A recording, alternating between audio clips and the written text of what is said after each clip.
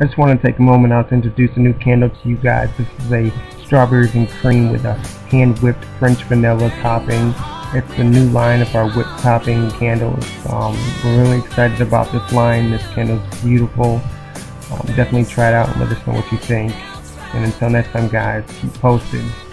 ShimmeringCandles.com